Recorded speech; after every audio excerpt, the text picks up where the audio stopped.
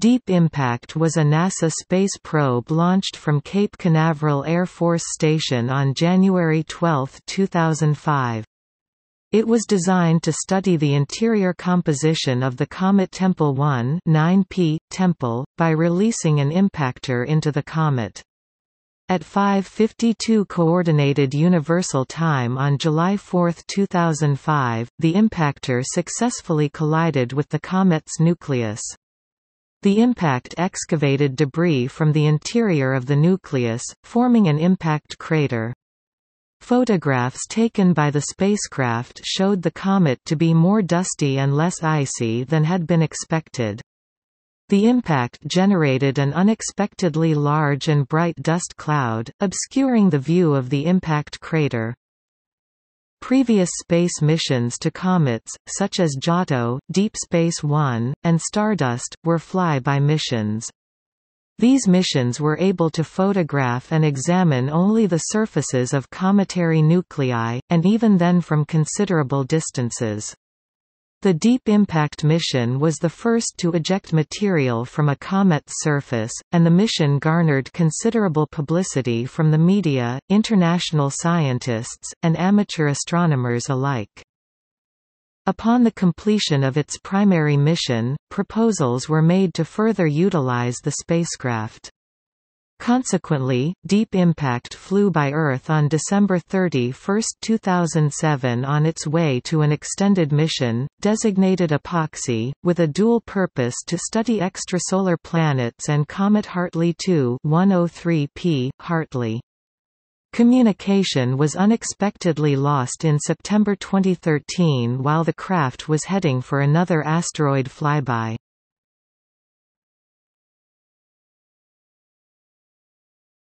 Topic: Scientific goals. The Deep Impact mission was planned to help answer fundamental questions about comets, which included what makes up the composition of the comet's nucleus, what depth the crater would reach from the impact, and where the comet originated in its formation.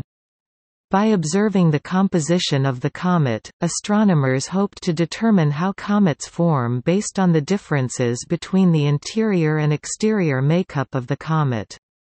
Observations of the impact and its aftermath would allow astronomers to attempt to determine the answers to these questions. The mission's principal investigator was Michael A'Hearn, an astronomer at the University of Maryland. He led the science team, which included members from Cornell University, University of Maryland, University of Arizona, Brown University, Belton Space Exploration Initiatives, JPL, University of Hawaii, SAIC, Ball Aerospace, and Max Planck Institute für Extraterrestrische Physik.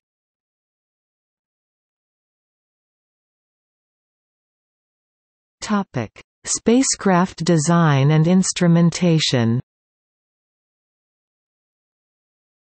The spacecraft consists of two main sections, the 372 kg 820 pounds copper core smart impactor that impacted the comet, and the 601 kg 1,325 pounds flyby section, which imaged the comet from a safe distance during the encounter with Tempel 1. The flyby spacecraft is about 3.3 meters (10.8 feet) long, 1.7 meters (5.6 feet) wide and 2.3 meters (7.5 feet) high. It includes two solar panels, a debris shield, and several science instruments for imaging, infrared spectroscopy, and optical navigation to its destination near the comet. The spacecraft also carried two cameras, the High-Resolution Imager (HRI) and the Medium Resolution Imager (MRI). The HRI is an imaging device that combines a visible light camera with a filter wheel, and an imaging infrared spectrometer called the spectral imaging module, or SIM that operates on a spectral band from 1.05 to 4.8 micrometers. It has been optimized for observing the comet's nucleus. The MRI is the backup device, and was used primarily for navigation during the final 10-day approach. It also has a filter wheel, with a slightly different set of filters. The impactor section of the spacecraft contains an instrument that is optically identical to the MRI, called the Impactor Targeting Sensor but without the filter wheel. Its dual purpose was to sense the impactor's trajectory, which could then be adjusted up to four times between release and impact, and to image the comet from close range. As the impactor neared the comet's surface, this camera took high-resolution pictures of the nucleus as good as 0.2 meters per pixel, 7.9 in px that were transmitted in real time to the flyby spacecraft before it and the impactor were destroyed. The final image taken by the impactor was snapped only 3.7 seconds before impact. The impactor's payload, dubbed the cratering mass, was 100% copper, with a weight of 100 kg. Including this cratering mass, copper formed 49% of total mass of the impactor with aluminium at 24% of the total mass. This was to minimize interference with scientific measurements. Since copper was not expected to be found on a comet, scientists could ignore copper's signature in any spectrometer readings. Instead of using explosives, it was also cheaper to use copper as the payload. Explosives would also have been superfluous. At its closing velocity of 10.2 km per second, the impactor's kinetic energy was equivalent to 4.8 metric tons of TNT, considerably more than its actual mass of only 372 kg. The mission coincidentally shared its name with the 1998 film, Deep Impact, in which a comet strikes the Earth.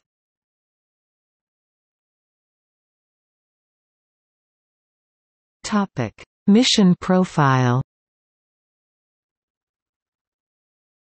Following its launch from Cape Canaveral Air Force Station pad SLC-17B at 1847 Coordinated Universal Time on January 12, 2005, the Deep Impact spacecraft traveled 429 million kilometers, 267 million miles in 174 days to reach Comet Tempel 1 at a cruising speed of 28.6 kilometers per second, 100 103,000 km per hour, 64,000 miles per hour.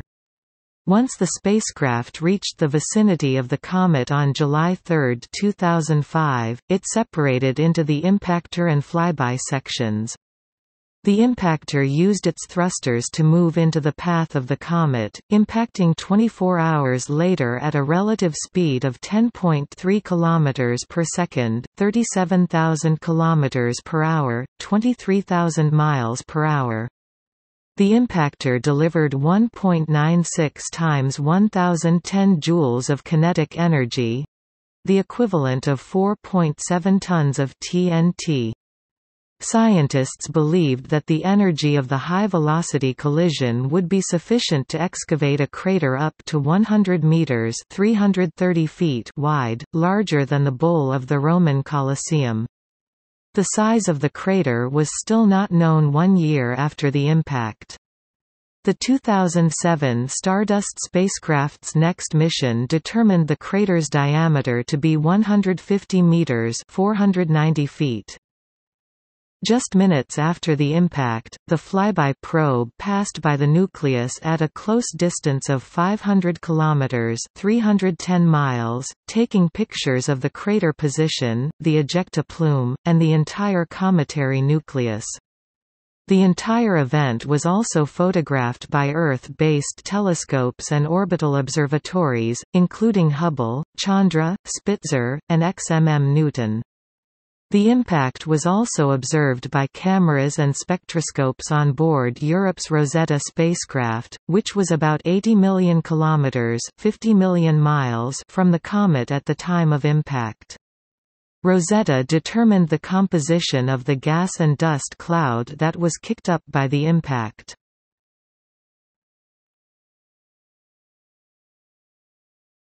Topic: Mission events.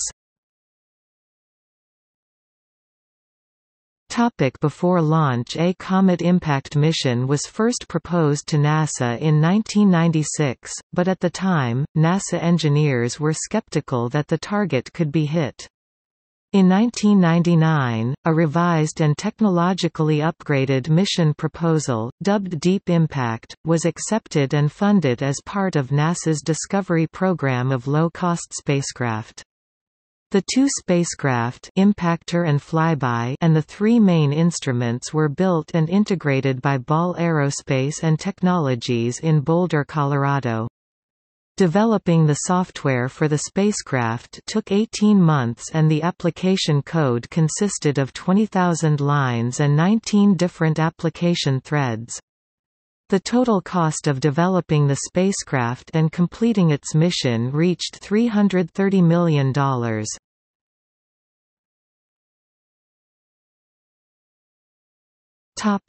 Launch and commissioning phase The probe was originally scheduled for launch on December 30, 2004, but NASA officials delayed its launch, in order to allow more time for testing the software. It was successfully launched from Cape Canaveral on January 12, 2005 at 1:47 p.m. Eastern Standard Time, 1847 UTC, by a Delta II rocket. Deep Impact's state of health was uncertain during the first day after launch. Shortly after entering orbit around the Sun and deploying its solar panels, the probe switched itself to safe mode. The cause of the problem was simply an incorrect temperature limit in the fault protection logic for the spacecraft's RCS thruster catalyst beds. The spacecraft's thrusters were used to detumble the spacecraft following third stage separation. On January 13, 2005, NASA announced that the probe was out of safe mode and healthy. On February 11, 2005, Deep Impact's rockets were fired as planned to correct the spacecraft's course.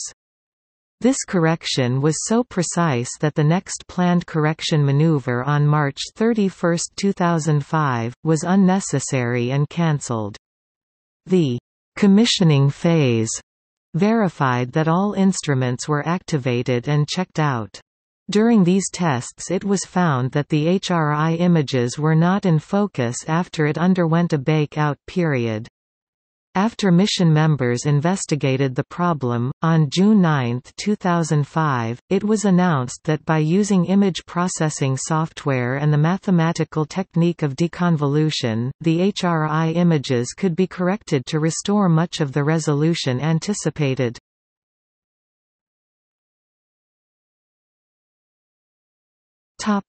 Cruise phase The cruise phase began on March 25, 2005, immediately after the commissioning phase was completed. This phase continued until about 60 days before the encounter with Comet Tempel 1. On April 25, 2005, the probe acquired the first image of its target at a distance of 64 million kilometers, 40 million miles. On May 4, 2005, the spacecraft executed its second trajectory correction maneuver. Burning its rocket engine for 95 seconds, the spacecraft speed was changed by 18.2 km per hour, 11.3 miles per hour. Rick Grammier, the project manager for the mission at NASA's Jet Propulsion Laboratory, reacted to the maneuver stating that spacecraft performance has been excellent, and this burn was no different. It was a textbook maneuver that placed us right on the money.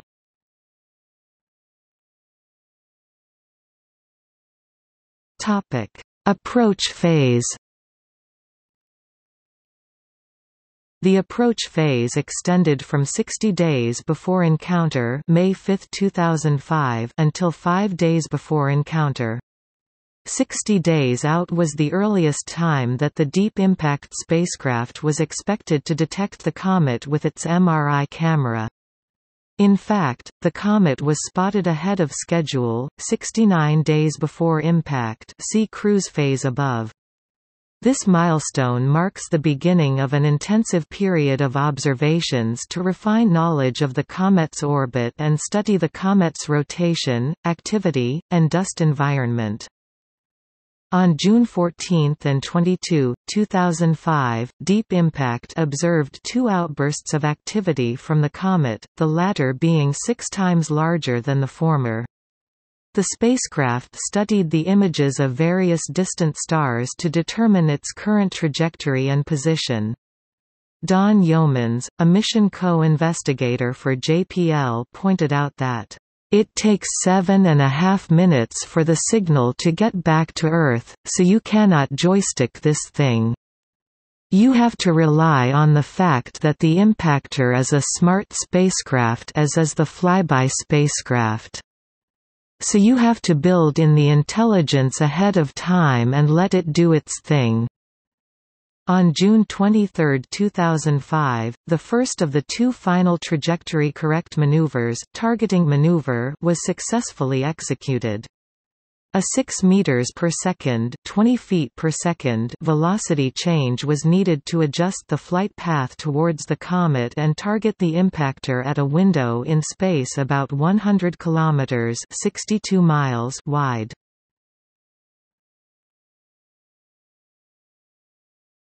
Topic: Impact phase.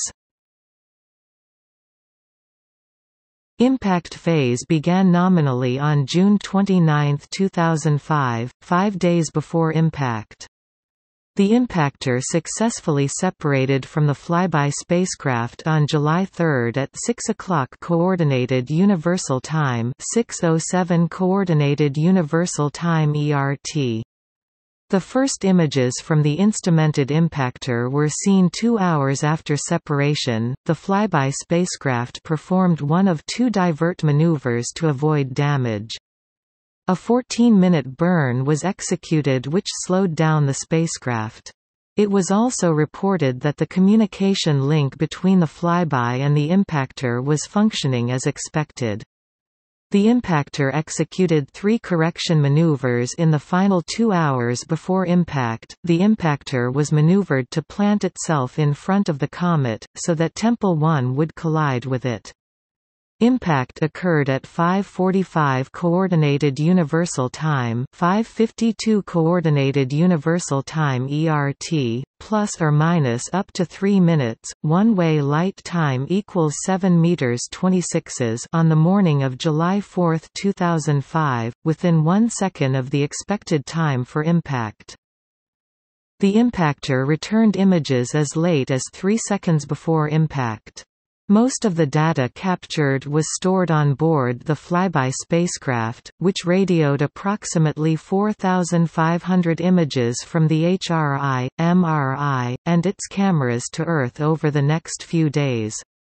The energy from the collision was similar in size to exploding 5 tons of dynamite and the comet shone six times brighter than normal. A mission timeline is located at Impact Phase Timeline NASA.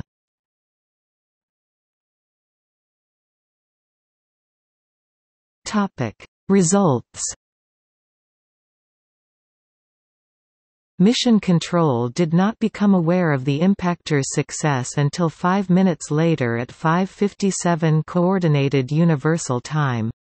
Don Yeomans confirmed the results for the press. We hit it just exactly where we wanted to. And JPL director Charles Elachi stated, The success exceeded our expectations. In the post-impact briefing on July 4, 2005, at 8 o'clock Coordinated Universal Time, the first processed images revealed existing craters on the comet. NASA scientists stated they could not see the new crater that had formed from the impactor, but it was later discovered to be about 100 meters wide and up to 30 meters 98 feet deep. Lucy McFadden, one of the co-investigators of the impact, stated, "...we didn't expect the success of one part of the mission bright dust cloud to affect a second part seeing the resultant crater. But that is part of the fun of science, to meet with the unexpected. Analysis of data from the Swift X-ray telescope showed that the comet continued outgassing from the impact for 13 days, with a peak five days after impact. A total of 5 million kilograms 11 million pounds of water and between 10 and 25 million kilograms 22 and 55 million pounds of dust were lost from the impact. Initial results were surprising as the material excavated by the impact contained more dust and less ice than had been expected. The only models of cometary structure astronomers could positively rule out were the very porous ones which had comets as loose aggregates of material. In addition, the material was finer than expected, scientists compared it to talcum powder rather than sand. Other materials found while studying the impact included clays, carbonates, sodium, and crystalline silicates which were found by studying the spectroscopy of the impact. Clays and carbonates usually require liquid water to form and sodium is rare in space. Observations also revealed that the comet was about 75% empty space, and one astronomer compared the outer layers of the comet to the same makeup of a snow bank. Astronomers have expressed interest in more missions to different comets to determine if they share similar compositions or if there are different materials found deeper within comets that were produced at the time of the Solar System's formation. Astronomers hypothesized, based on its interior chemistry, that the comet formed in the Uranus and Neptune Oort cloud region of the Solar System. A comet which forms farther from the Sun is expected to have greater amounts of ices with low freezing temperatures, such as ethane, which was present in Tempel 1. Astronomers believe that other comets with compositions similar to Tempel 1 are likely to have formed in the same region.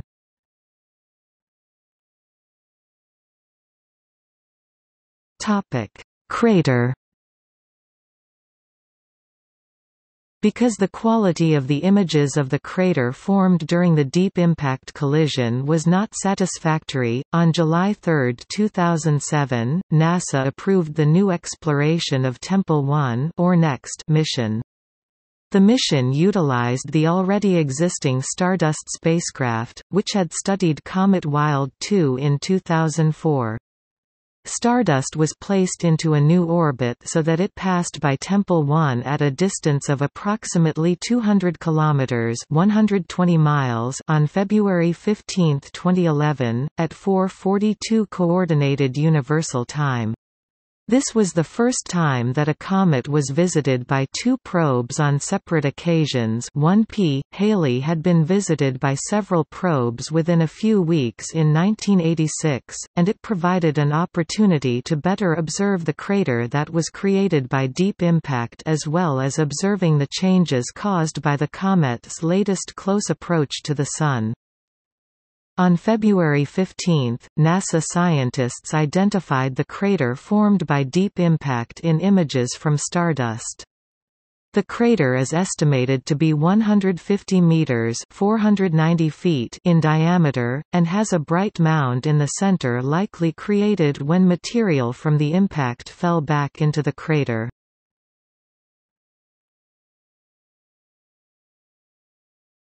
Topic: Public interest.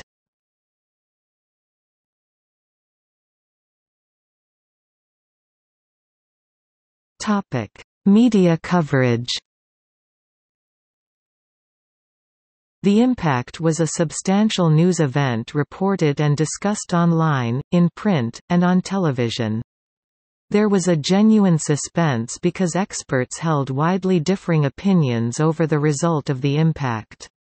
Various experts debated whether the impactor would go straight through the comet and out the other side, would create an impact crater, would open up a hole in the interior of the comet, and other theories. However, 24 hours before impact, the flight team at JPL began privately expressing a high level of confidence that, barring any unforeseen technical glitches, the spacecraft would intercept Tempel 1. One senior personnel member stated, "...all we can do now is sit back and wait. Everything we can technically do to ensure impact has been done." In the final minutes as the impactor hit the comet, more than 10,000 people watched the collision on a giant movie screen at Hawaii's Waikiki Beach. Experts came up with a range of soundbites to summarize the mission to the public. Iwan Williams of Queen Mary University of London, said, It was like a mosquito hitting a 747. What we've found is that the mosquito didn't splat on the surface, it's actually gone through the windscreen. One day after the impact Marina Bai, a Russian astrologer, sued NASA for $300 million for the impact which ruin ed the natural balance of forces in the universe. Her lawyer asked the public to volunteer to help in the claim by declaring, the impact changed the magnetic properties of the comet, and this could have affected mobile telephony here on Earth. If your phone went down this morning, ask yourself why, and then get in touch with us. On August 9, 2005 the Presnensky Court of Moscow ruled against Bai, although she did attempt to appeal the result. One Russian physicist said that the impact had no effect on Earth and the change to the orbit of the comet after the collision was only about 10 cm 3.9 in.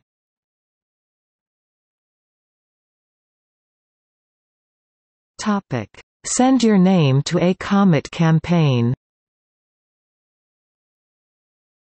The mission was notable for one of its promotional campaigns, Send your name to a comet. Visitors to the Jet Propulsion Laboratory's website were invited to submit their name between May 2003 and January 2004, and the names gathered—some 625,000 in all—were then burnt onto a mini-CD, which was attached to the impactor. Dr. Don Yeomans, a member of the spacecraft scientific team, stated, this is an opportunity to become part of an extraordinary space mission. When the craft is launched in December 2004, yours and the names of your loved ones can hitch along for the ride and be part of what may be the best space fireworks show in history. The idea was credited with driving interest in the mission.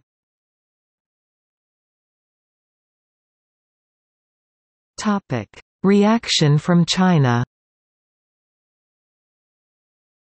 Chinese researchers used the Deep Impact mission as an opportunity to highlight the efficiency of American science because public support ensured the possibility of funding long-term research. By contrast, in China, the public usually has no idea what our scientists are doing, and limited funding for the promotion of science weakens people's enthusiasm for research. Two days after the U.S. mission succeeded in having a probe collide with a comet, China revealed a plan for what it called a more clever version of the mission, landing a probe on a small comet or asteroid to push it off course. China said it would begin the mission after sending a probe to the Moon.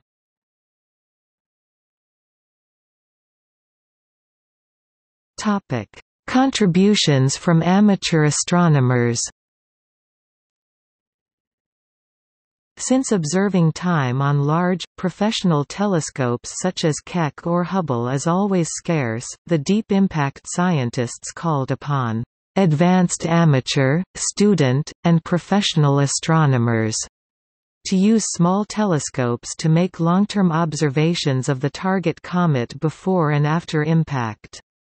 The purpose of these observations was to look for volatile outgassing, dust coma development and dust production rates, dust tail development, and jet activity and outbursts.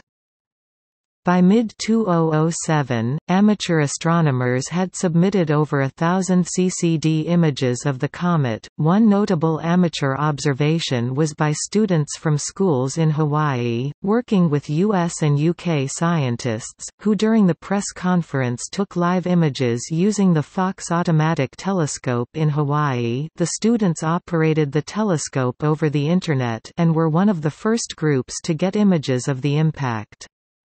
One amateur astronomer reported seeing a structureless bright cloud around the comet, and an estimated 2 magnitude increase in brightness after the impact. Another amateur published a map of the crash area from NASA images. Topic musical tribute The Deep Impact mission coincided with celebrations in the Los Angeles area marking the 50th anniversary of Rock Around the Clock by Bill Haley and his Comets becoming the first rock and roll single to reach number one on the recording sales charts. Within 24 hours of the mission's success, a two-minute music video produced by Martin Lewis had been created using images of the impact itself combined with computer animation of the Deep Impact probe in flight, interspersed with footage of Bill Haley and his Comets performing in 1955 and the surviving original members of the Comets performing in March 2005. The video was posted to NASA's website for a couple of weeks afterwards. On July 5, 2005, the surviving original members of the Comets ranging in age from 71 to 84 performed a free concert for hundreds of employees of the Jet Propulsion Laboratory to help them celebrate the mission's success. This event received worldwide press attention. In February 2006, the International Astronomical Union citation that officially named asteroid 79896 Bill Haley included a reference to the JPL concert.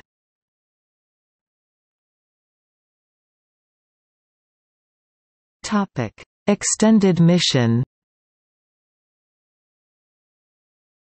Deep Impact embarked on an extended mission designated EPOXI Extrasolar Planet Observation and Deep Impact Extended Investigation to visit other comets, after being put to sleep in 2005 upon completion of the Tempel 1 mission.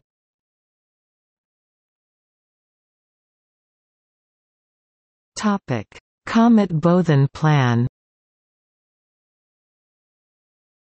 Its first extended visit was to do a flyby of Comet Boethin, but with some complications.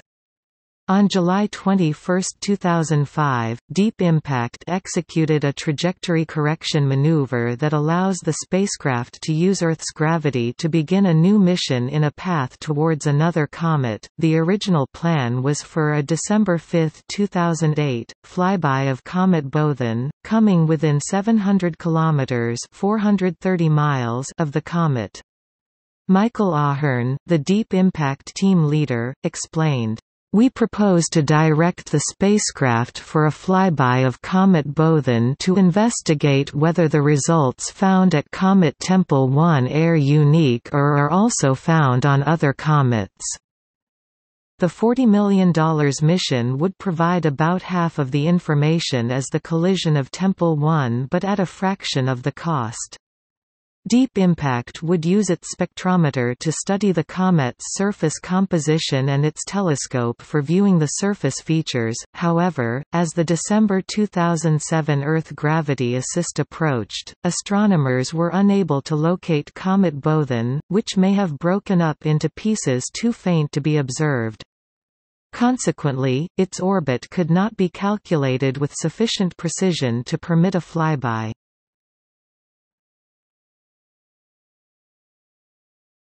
Topic: Flyby of Comet Hartley 2.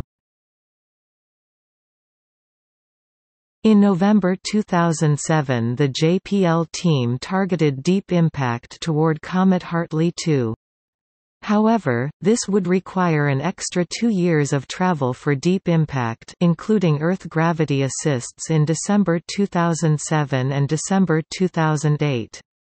On May 28, 2010, a burn of 11.3 seconds was conducted, to enable the June 27 Earth flyby to be optimized for the transit to Hartley 2 and flyby on November 4. The velocity change was 0.1 meters per second, 0.33 feet per second. On November 4, 2010, the Deep Impact Extended Mission (EPOXI) returned images from Comet Hartley 2. EPOXI came within 700 kilometers (430 miles) of the comet, returning detailed photographs of the peanut shaped cometary nucleus and several bright jets. The probe's medium-resolution instrument captured the photographs.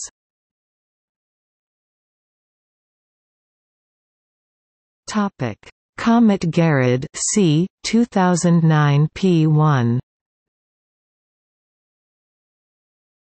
Deep Impact observed Comet Garradd c. 2009 P1 from February 20 to April 8, 2012, using its medium-resolution instrument, through a variety of filters. The comet was 1.75 to 2.11 astronomical units, 262 to 316 million kilometers from the sun and 1.87 to 1.30 astronomical units, 280 to 194 million kilometers from the spacecraft. It was found that the outgassing from the comet varies with a period of 10.4 hours, which is presumed to be due to the rotation of its nucleus. The dry ice content of the comet was measured and found to be about 10% of its water ice content by number of molecules.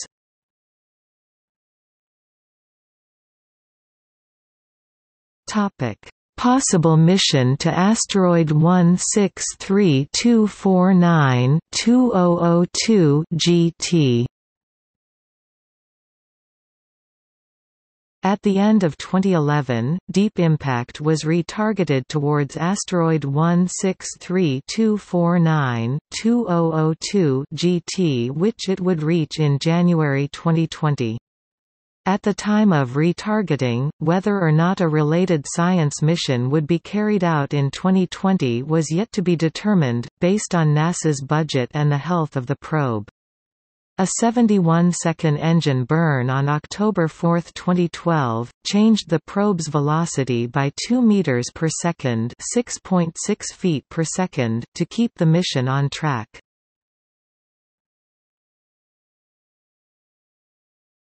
Topic: Comet C 2012 S1 ISON. In February 2013, Deep Impact observed Comet ISON. The comet remained observable until March 2013. Topic: Contact lost and end of mission. On September 3, 2013, a mission update was posted to the EPOXI mission status website, stating, Communication with the spacecraft was lost some time between August 11 and August 14. The last communication was on August 8. The team on August 30 determined the cause of the problem. The team is now trying to determine how best to try to recover communication. On September 10, 2013, a Deep Impact Mission Status Report explained that mission controllers believe the computers on the spacecraft are continuously rebooting themselves and so are unable to issue any commands to the vehicle's thrusters. As a result of this problem, communication with the spacecraft was explained to be more difficult, as the orientation of the vehicle's antennas is unknown. Additionally, the solar panels on the vehicle may no longer be positioned correctly for generating power. On September 20, 2013, NASA abandoned further attempts to contact the craft. According to Chief Scientist A'Hearn, the reason for the software malfunction was a Y2K-like problem. August 11, 2013, 0 hours 38 minutes and 49 seconds, was 232 of one-tenth seconds from January 1, 2000, leading to speculation that a system on the craft tracked time in one-tenth second increments since January 1, 2000, and stored it in a signed 32-bit integer, which then overflowed at this time, similar to the year 2038 problem.